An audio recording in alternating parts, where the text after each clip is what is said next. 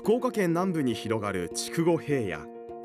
地球温暖化により米が生育するのに適した気温を逸脱した夏の高温が続き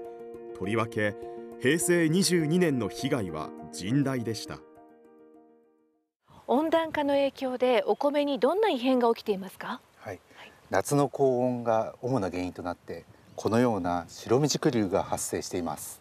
ちょっとこう白くなっている部分でしょうか？そうですね白未熟粒は米の主要成分のでんぷんがうまく詰まらず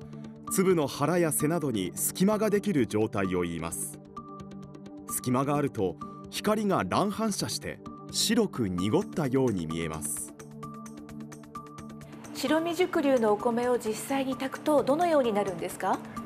特に業務用米などで強い火力で炊くとうまく炊き上がらず食感が低下することがあります例えばべちゃべちゃしたりそういったお米ができることもあります。記録的な猛暑となった平成22年。